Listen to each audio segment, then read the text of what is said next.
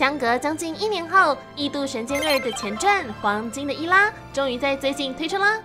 游戏描述本传五百年前的剧情，以神剑真和剑主劳拉为主角，带领大家了解五百年前圣杯大战天之圣杯光与灭的激斗。在黄金的伊拉中，我们除了能够用本传的反派真以外，光的第一任剑主，一直以来都戴着斗篷、神神秘秘的英雄阿黛尔，也会成为我们的同伴，与我们并肩作战。作为五百年前的人们，战斗方式自然与本传不大一样。在队伍中，玩家们可以随时切换操作剑主或是神剑，而不是单单只有剑主在拼命战斗。而且只要善用切换神剑时出现的技能，就能打出漂亮的连击。就连过去难以累积的属性球，这次也能轻松集满。想打出高伤害，就多放点必杀技吧。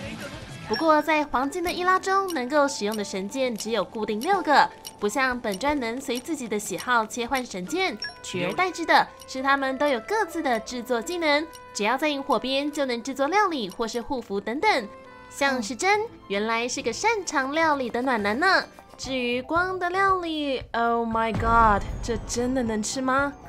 想要了解燕到底是怎么出现，繁荣的伊拉国又发生了什么事呢？黄金的伊拉这个独立资料片，绝对值得你细细品味哦。